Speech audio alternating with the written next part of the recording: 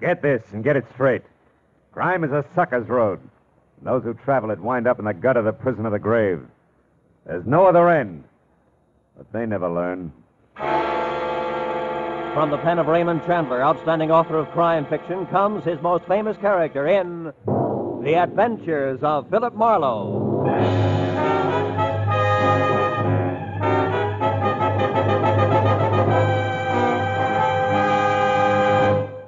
Now, with Gerald Mohr, starred as Philip Marlowe, we bring you tonight's transcribed story, The Quiet Magpie.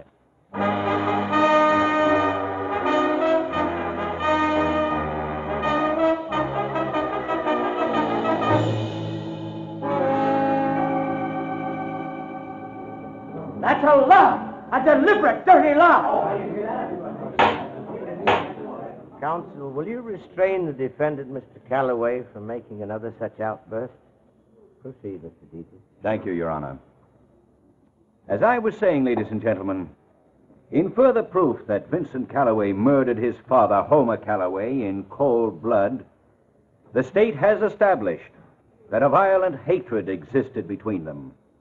A hatred that crystallized through the years as Vincent Calloway grew from a pampered, coddled, only child into an indolent wastrel of a man, content to lavish on himself the profits from the Calloway Oil Company, his father's business, without once lifting so much as a finger in the firm's behalf. That's not true. I worked in the Counsel for the defense will advise his client that the court will not countenance another interruption of this sort. Thank you, Your Honor. A hatred, ladies and gentlemen, that reached explosive proportions when Vincent Calloway recently took as his bride an ex showgirl. A woman with a long and tarnished history of flagrant fortune hunting. A woman whom he flaunted in the face of his father's expressed wishes and deep desires to the contrary. Further, the state has proved that just two days prior to his murder, Homer Calloway had decided definitely to change his will. Why? Why, other than to eliminate his son from its benefits? The court requests that the prosecution confine itself to the facts. Continue, Mr. Deity. Very well, Your Honor. The facts are eloquent enough. Homer Calloway was murdered before his desired changes in his will could be executed. Next, we learned that on the night of the murder, a desperate effort was made by the killer to cloud the real circumstances of the crime by setting the scene to look as though Homer Calloway had surprised a common thief, robbing his private office. This clumsy attempt was at once proved by police officers to be completely faked.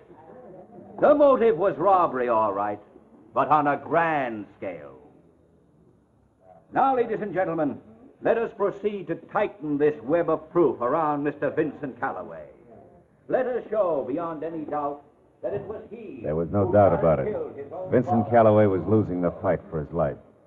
Deety, the crisp, tab-colored assistant DA, was cutting him to ribbons. When they called Felix Loman to the stand, I turned around and took a good look. Because it was Felix Loman who had telephoned me earlier and hired me to come to the trial and be on hand when he testified. He was a tired little man with a jaded cherub face who got up and walked unsteadily down the aisle to the bailiff's table. He acted like a man on the verge of collapse. Are you uh, all right, Mr. Loman? Yes.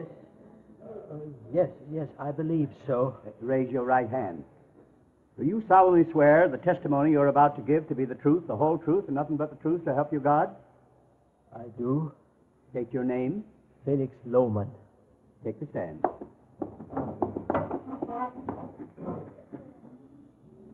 Now, uh, Mr. Loman, will you please tell this court what your association with the late Homer Calloway was? Why, yes, sir. I, I was Homer's best friend for many years. I was his personal advisor and confidant until I. Mr. Loman! The man's ill. Get a doctor. No, no, no, that, that won't be necessary, sir. It's nothing. Really. I have a friend here. Uh, Mr. Marlowe. Philip Marlowe. he, he'll help me. Is there Mr. Marlowe here?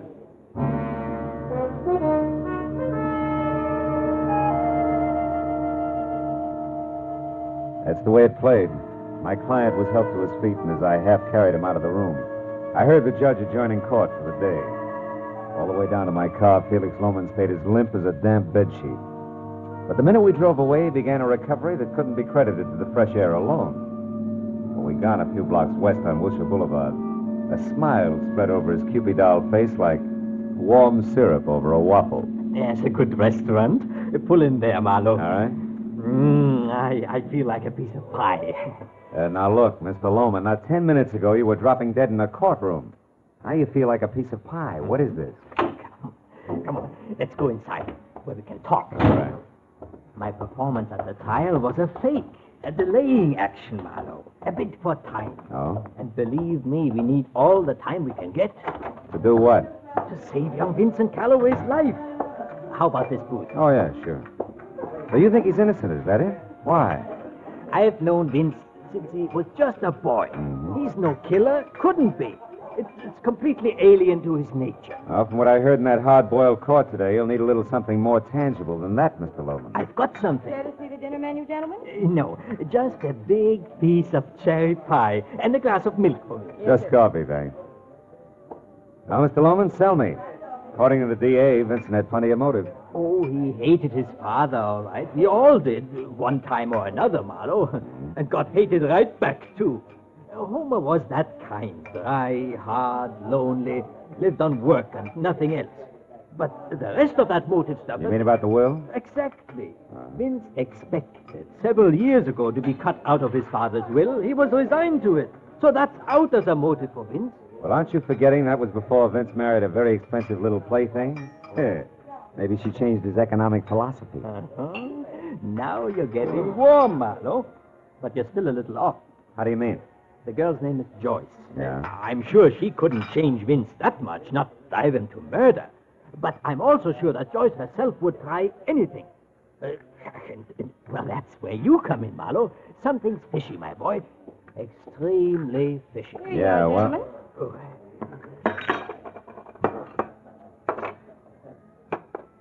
Uh, that's fine, thank you. Now, uh, tell me, what's fishy, Felix? Are you trying to say you think Joyce is a killer? I don't know. I, I don't know, but I do know that item one, Vince was worried about her for, for some reason a few days before his father's death. So? So, when this mess broke, I checked up on her myself. Mm-hmm. Followed her home a few times. That's at 2313 North Ogden. And item two, I saw a man hanging around the place. A fellow with two gold teeth right in front. And dark, five o'clock shadow, uh, kind of whiskers. I followed him once. Know where Angel's Flight is? Sure. Uh, that's where I lost him. But I learned that his name is Stoner. Stoner, huh? What about item three? Blackmail. I don't know how or where, Marlowe, but it's there. Oh. And Vincent's caught in the middle, huh? good and tight. Yes. Hmm. We've got to find out about this fast. I wish I could go along, but Joyce knows me too well, and that Stoner has spotted me also, I'm afraid. So I guess it's up to you. Okay, I'll get started. I can reach you where? Uh, home. Gladstone 3962. 3962. And Marlowe, I'm just an old fuddy-duddy. But that boy Vince means a lot to me. And time is awfully short. Give us your best, will you?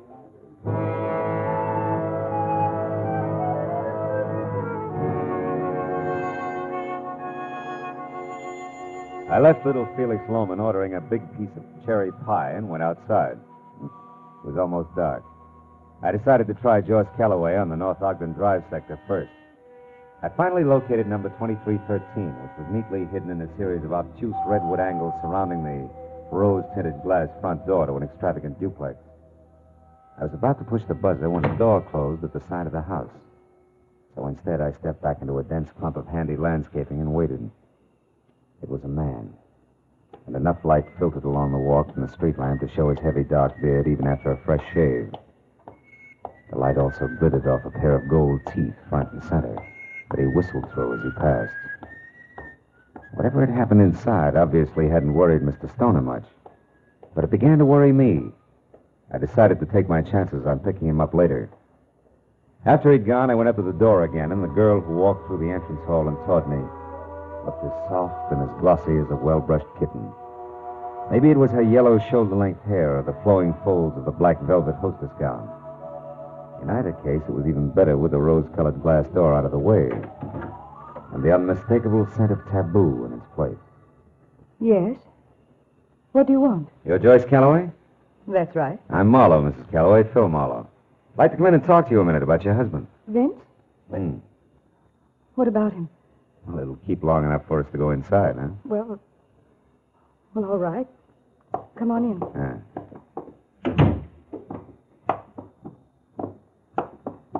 This is my apartment.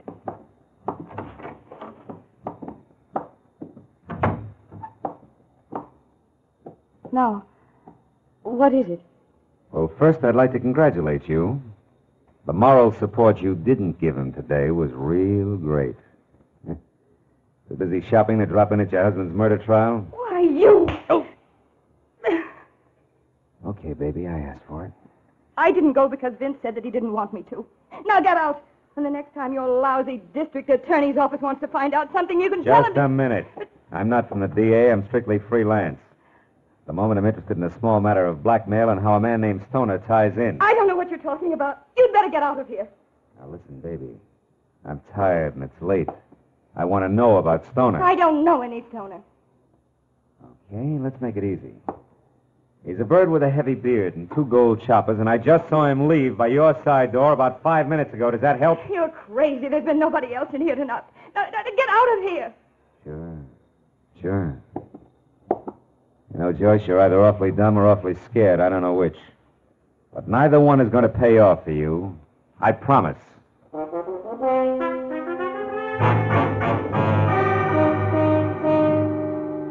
Starting at Angel's Flight and working west, it took three solid hours of scraping through the scum on Bunker Hill before I got a lead on a guy named Stoner. And another hour went by before I actually found the swayback three-story rooming house he called home.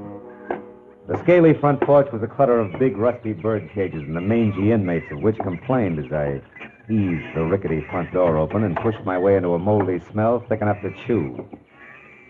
The ragged row of tin mailboxes said Stoner's room was second floor rear. So I started up. I got as far as the landing when I heard a voice in the hall above. I went on slowly until I could see. It was Stoner. His back to me, talking on the whole phone.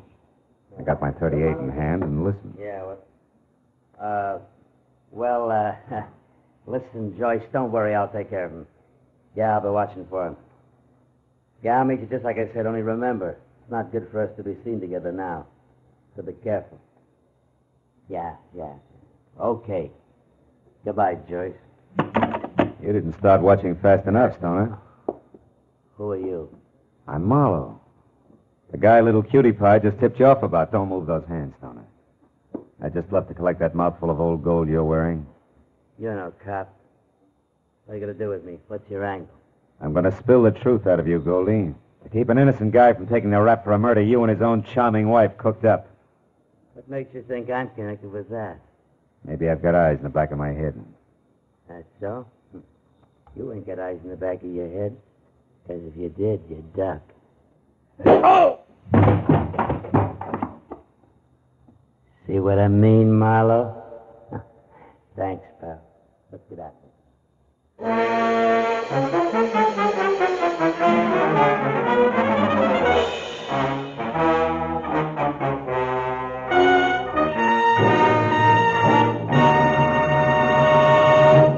In just a moment, the second act of Philip Marlowe. But first, although the intention of the entire world is now focused on the critical situation in the Far East, there are still tragic remnants of another war in Europe. There are still hungry people, children who need clothes. There is still sickness and the ever present misery and poverty. Now, as before, it is your job to help these people. Help them through your generosity, through care. One $10 care package can feed and clothe an entire family in France, in Italy, in Germany. Send hope to these destitute peoples of Europe by showing you care through care. Now, with our star, Gerald Mohr, the second act of Philip Marlowe, and tonight's story, The Quiet Magpie.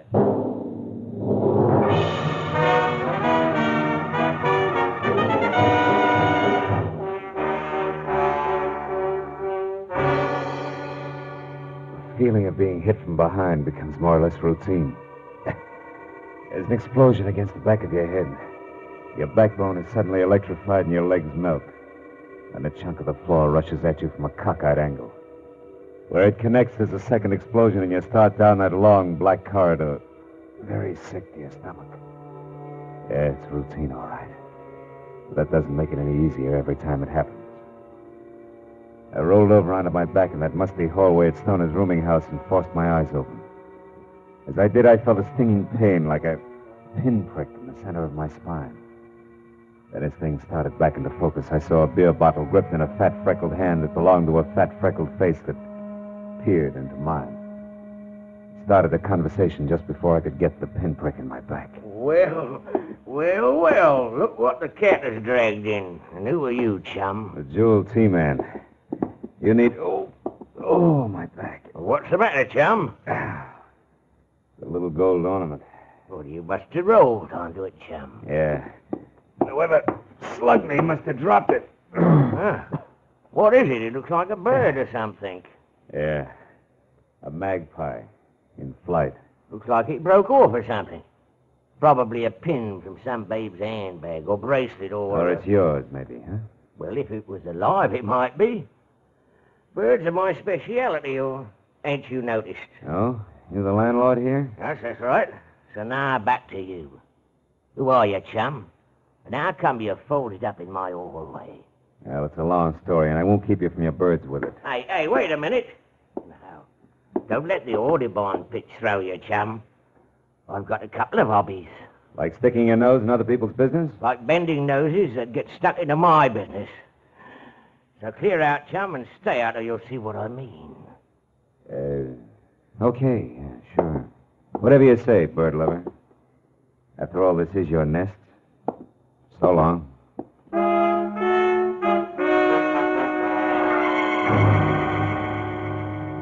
I figured it would play smoother if I left my tail between my legs and waited for him to return to his birds and beer. So outside, I let ten precious minutes go by before I made my move. Then it was around to the back up a lopsided, rusted fire escape and in through an open window to Stoner's room. There, I hoped something would tell me where he was going to meet Joyce Calloway. But after wasting another ten minutes, it turned up nothing more than the two words Gate L scribbled on the back of an old envelope, which could have meant airport, train station, or bus depot if they meant anything. I went for the hall phone I'd overheard Stoner use and put through a call to my client, Felix Loman, to bring him up to date. Marlowe, this is splendid. Why, from what you say, Vincent Calloway is practically a free man. Now, now, so I understand. Stoner and Joyce Calloway, who are going to blackmail Vincent, kill Vincent's father so that Vincent would inherit a fortune and thus be a more profitable target for blackmail. Is that it? Yeah, more or less, with, of course, everything backfiring when Vincent was arrested for the murder. But look, Mr. Loman, we'll add and subtract later, huh? Right now, we got to catch up to him. Yes, but where? You, you said Stoner got away. Yeah, that he was heading for a meeting with Joyce Calloway. See, I got one thing to go on. I found the words Gate L scribbled on an envelope. Do you have any idea if it would mean a train depot or a bus? Gate L. Yeah. Marlowe, is, is that what you said, Gate L? Yeah, yeah. Does it mean anything to you? Of course, Gate.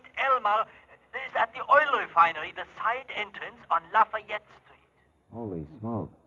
Say, Loman, what's the address of that place? It's uh, East L.A., isn't it? Yes, 1100 South Cooper between Kendall and Lafayette Streets. Covers the square block. Uh-huh. Now, look, Loman, do you have a gun there in your place, I mean? A gun? Yeah. Why, why, yes, I, I do, Marlowe. Well, good. Get it and go over to the refinery right away.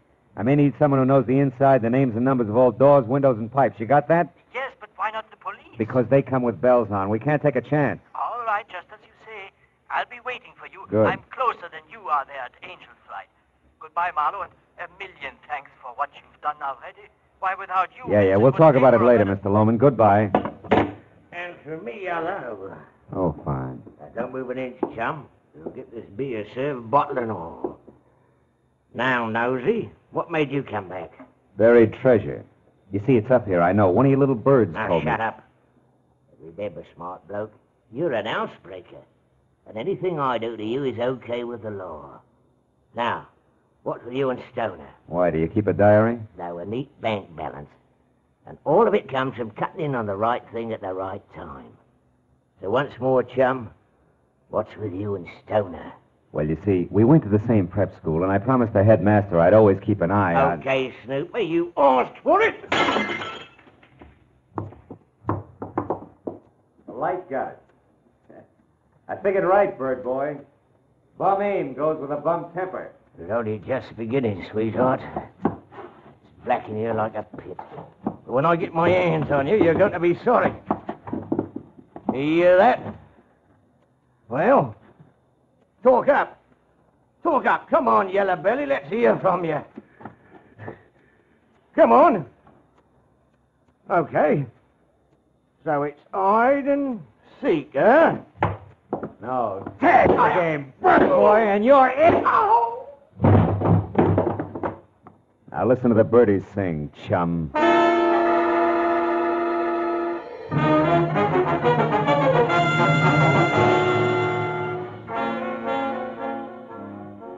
20 minute drive from Angel's Flight to the Calloway Oil Refinery in East L.A. and all the way through the wide, deserted streets that the city's heavy industries called home.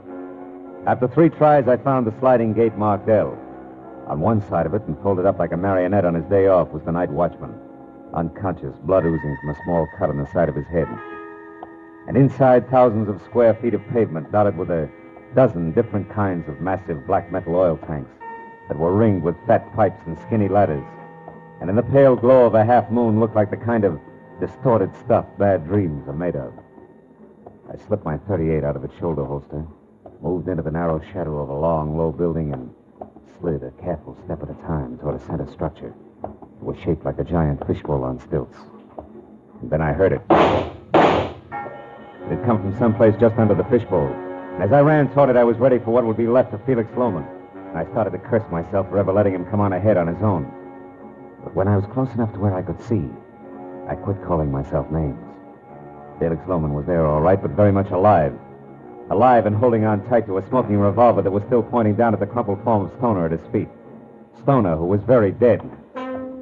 Marlowe! Marlowe! She's up there! She has a gun, Marlowe! Look, up on that platform behind those pipes! Hold it, Loman. Get down. But, Marlowe, you must... Get down. She's got cover up there. We haven't. I don't care. You rotten, scheming woman! You are going to pay for all this! You're going to die even as you killed Vincent's father! No, Felix, I didn't. I didn't. Yes, yes, Mrs. Calloway. There's no other way out for you. It's too late for you and your lives. It's your end, Joyce Calloway, an end you Loman, you deserve. fool. She'll get you. Loman. You louse. My shoulder. It'll be your life, Loman, if you don't drop that gun. Well, dear client, what's your answer? Do you drop it or do I shoot again? No, no. I'll drop. I, I'll do as you say. Okay, Joyce, come on down. Get a good look at your husband's benefactor. Who incidentally murdered Homer Calloway, murdered his accomplice Stoner here, and tried to murder you. My shoulder. You know, for a smart guy, you're pretty stupid, Loman. You should take better care of your cufflinks. That gold magpie shines in the moonlight, especially when you extend your arm to shoot people. Marlowe, Here. Here, Loman's the mate, the one that broke off in the hallway at Stoner's place. That much of you can still be patched up. All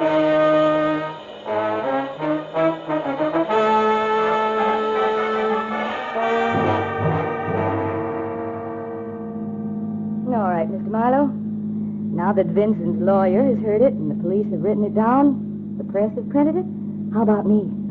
I don't follow it. For instance. Well, Felix Loman killed Homer because Homer no longer had any use for him. But with Homer out of the way, I- And Vincent in his place, Felix would be set. Your husband he could fool. Yes, but the way the whole thing boomeranged... Oh, that was just I- bad luck. You see, he staged a robbery at Homer's office just to throw the law off. Well, it didn't. But more than that, it almost nailed Vincent. Still with me? Uh-huh. oh, the second house over there. oh, I see. Mm-hmm. Oh, what was the blackmail? How come? Well, that was Felix again. And out of whole cloth. You see, if Vincent lost his trial, Felix lost everything he killed for. So using Stoner, he had me playing follow the leader. Like Stoner pretending to have just left my place when you arrived. That's right. Oh. That and Stoner setting everything up nice and neat. You see, he was on the phone all right, but when he knew that I was there, he pulled a switch. And very carefully planted the name Joyce. He did? Uh-huh. And last of all, Stoner being killed by Felix, who no longer had any use for him and had a lot of reasons to fear him, in what was supposed to be self defense. Get it? Get it? He gives you a little to go on and then a lot more each time you get there. Yeah. At the right moment, he brings you in with a phone call that tells you to come at once to the refinery. Oh, if you want to help Vincent. Ooh, how close I came. Yeah. Well, thank you, Mr. Marlowe. Correction. Like Mr. Magpie.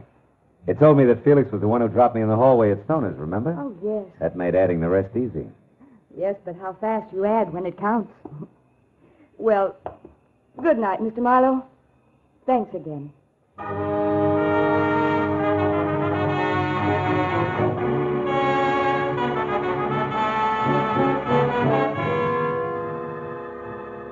By the time I pulled up in front of my apartment on Franklin, the black in the sky had started to melt into a slate gray. And my eyes ached for the long sleep that that they had coming. Well, I sat there for a minute. I lit a cigarette and I thought about birds. Did you, did you ever stop to think how some people remind you of birds? For instance, the landlord. if ever I saw a vulture in pants, he was it. And, and my client, Loman, a hawk with horn rims. And. Hmm. A pouter pigeon. And then there's Marlowe. I wonder what kind of a bird I am. Hmm. a dead pigeon.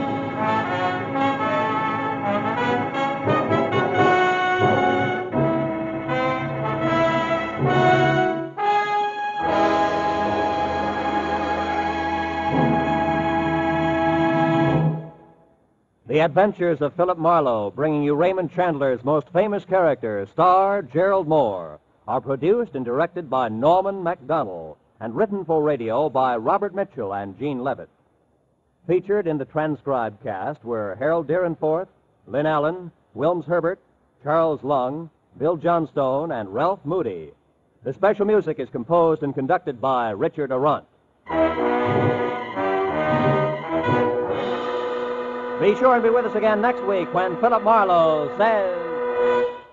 This time, an eager young kid took a beating in an alley. A lobster face began to boil, and a pair of month old corpses got together. All because a woman in a dark tunnel kept a secret that didn't belong to her.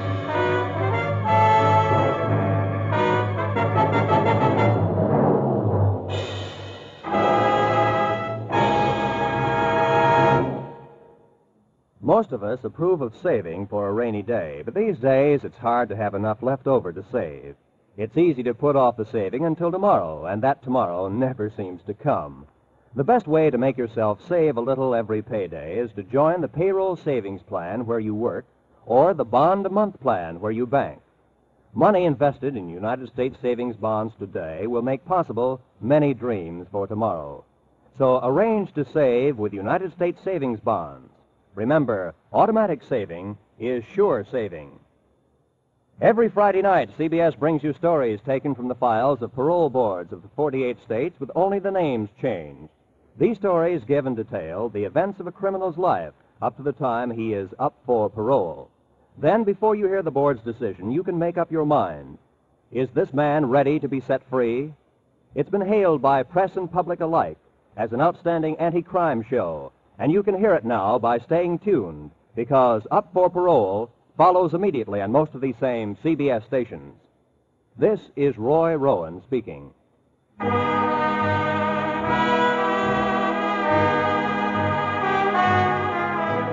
This is CBS where you find songs for sale every Friday night, the Columbia Broadcasting System.